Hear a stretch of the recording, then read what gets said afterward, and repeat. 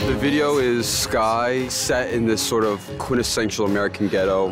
And what happens is we reveal her after we think that she's like this sort of boss kind of guy. And then we sort of tilt down, we reveal that it's a woman. And then these sort of thuggish kind of guys end up being her, her boys. And it's all about her in this territory. And then she gets arrested and she breaks free from the chains. It's obviously based off of like real events, but it's kind of um, people always ask me questions about certain things, and it was kind of like my response. You know, I think actions speak louder than words. The video was inspired by like early '90s gangster rap videos.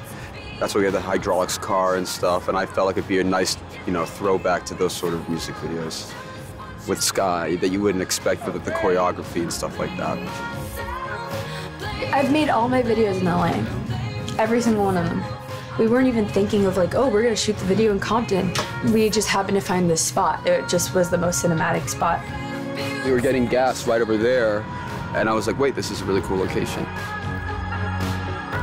All of my music's inspired by film, so music videos are really important to me. And I was just so happy that I got to make this happen.